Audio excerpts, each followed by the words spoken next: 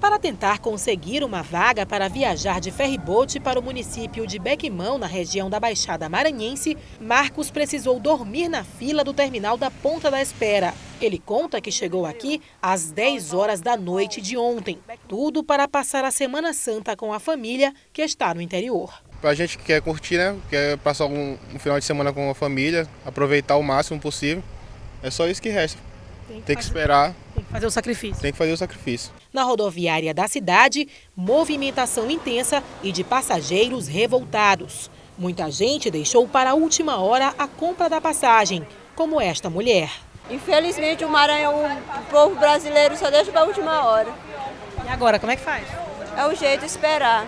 A Semana Santa é o terceiro feriado que registra a maior número de pessoas na rodoviária de São Luís só perde para o recesso de fim de ano e carnaval. Em feriados como esse, o número de passageiros aqui aumenta entre 30% a 40%.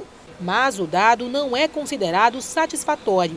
Normalmente, o índice chega a 70% nesse período, segundo este gerente de vendas de passagens de ônibus. Esse ano foi uma surpresa negativa. Surpresa negativa, a demanda foi abaixo do esperado.